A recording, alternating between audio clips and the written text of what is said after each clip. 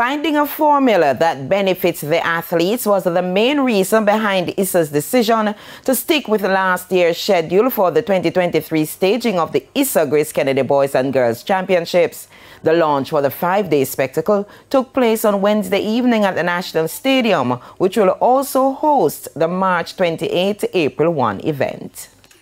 Following the 2020 cancellation and two subsequent years of tweaks and adjustments due to the COVID-19 pandemic, this year's staging of the ISSA Grace Kennedy Boys and Girls Athletics Championships will mark the first fully executed version of the famous event since 2019. 20,000 spectators were permitted last year, but this time around the full capacity of the National Stadium will be utilized. Luckily we have a template that we were using up to 20, 2019 and that, that template we think worked, but we always want to improve and therefore would have put in the extra effort to see what is it we could do better this year.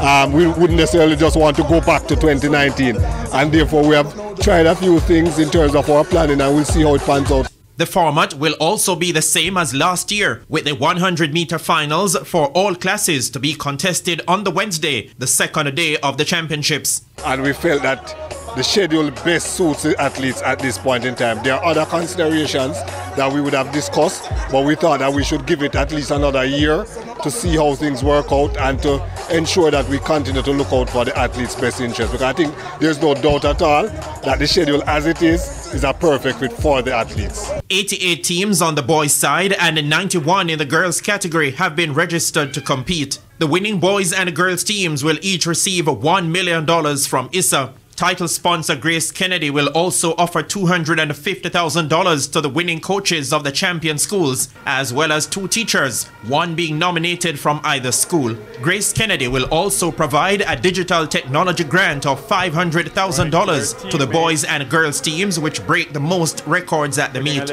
Kingston College and Edwin Allen are the defending boys and girls champions respectively. Meanwhile, the various platforms of the RJR Gleaner Group will have blanket coverage of the championships. TVJ, TVJSN, Hits 92 FM, Power 106 FM, and of course, One Spot Media are serious about the development of sports, in particular track and field.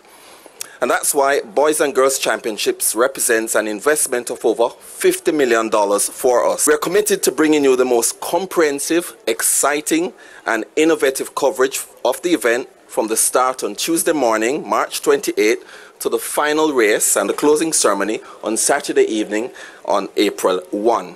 The championships will run from 9 a.m. to 9.30 p.m. on the first four days and 1 to 9 p.m. on the final day. Spencer Darlington, TVJ Sports.